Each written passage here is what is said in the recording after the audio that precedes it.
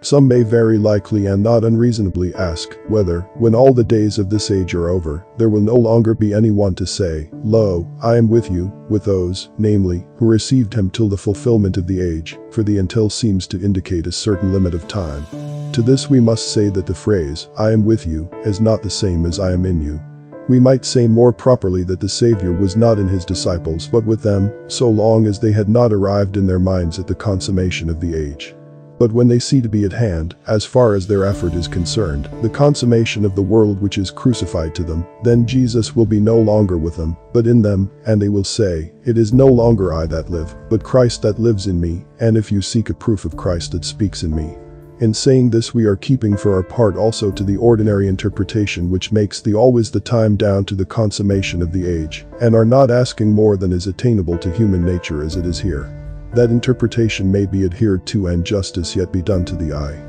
He who is with his disciples who are sent out to teach all the nations, until the consummation, may be he who emptied himself and took the form of a servant, and yet afterwards may be another in point of state, afterwards he may be such as he was before he emptied himself, until all his enemies are made by his Father, the footstool of his feet, and after this, when the Son has delivered up the kingdom to God and the Father, it may be the Father who says to them, Behold, I am with you but whether it is all the days up to that time, or simply all the days, or not all days but every day, anyone may consider that likes. Our plan does not allow us at present to digress so far.